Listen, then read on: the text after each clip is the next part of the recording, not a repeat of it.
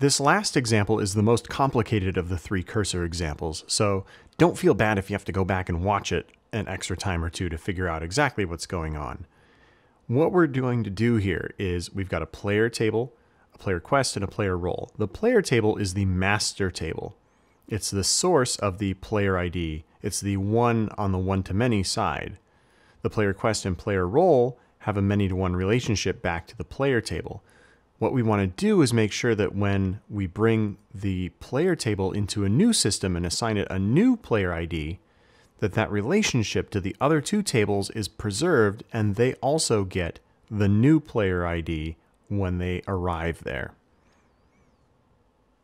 If we were to do this using a cursor, it might look something like this, where we would have to declare a new ID and a cursor for the master table. We would insert the first row of the master table, and then we would get back the new ID because it would be an identity column. We'd have to take that new ID and then run an additional cursor inside of this one for each related table. So player quest, player roles, we'd insert those rows using a new ID, loop, close, and then repeat that inner cursor for each additional detail table. We'd have to do it once for the player quest, once for player roles. That's a lot of cursor looping, a lot of row by row operations. There's a way that we can do this using set based operations. In order to do that, we're going to need what is known as a bridge table.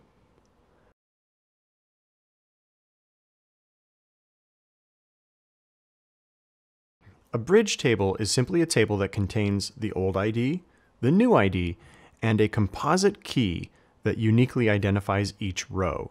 That key is made up of one or more columns in the table data. The way that we would use the bridge table is five steps. First, we create a composite key that uniquely identifies each row. We'd insert the old ID and the composite key into the bridge table. We'd import the master table rows, update the bridge table with a new ID, joining on the composite key, and then import the detail table rows, joining on the bridge table to get the new ID as part of that insert process. Step one is to create a composite key. We need to find something that can uniquely identify each row in the table just based on the columns we already have, not including the ID. In this case, what we're going to do is take the player name, we'll use a pipe delimiter, and then we'll use the player class ID, put another delimiter after that, and the player level and we'll use that as the composite key. The next step is to insert the old ID and composite key into the bridge player table. So we'll have the old player ID and the composite key in there. You can see that first row has hash matcher and then class ID 2 level 4. All we're waiting on now is the new player ID, which is just player ID. That will get added in step 4. The next step, insert master table rows. We want to take the player name, player class ID, player level, and insert them from the old to the new. Now we don't select the old or new IDs because they're identity fields. Those are taken care of already. We don't want to insert the old one and we can't tell it to insert the new one. So we just leave that out of the insert statement. The next step is to update the bridge table with the new ID. So we would update the bridge player table using the player table and what we would join on would be in the bridge player table, the composite key, and on the new player table side, we would rebuild that composite key for the join. So player name, player class ID, and player level. This process fills in player ID. So we now have player ID 1, 2, so on and so forth.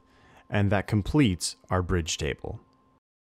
The last step then is to insert the detail table rows we would insert into the player quest table using the bridge player ID, which is the new player ID, the old quest ID, and we would join the player quest old table to the bridge player ID on the old player ID.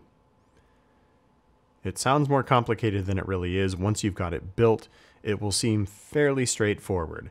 And you can repeat this process with every detail table.